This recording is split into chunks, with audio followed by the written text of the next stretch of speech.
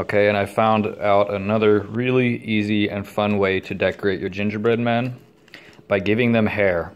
So we have your frosting here. You have your finished gingerbread man, but he looks a little bit uh,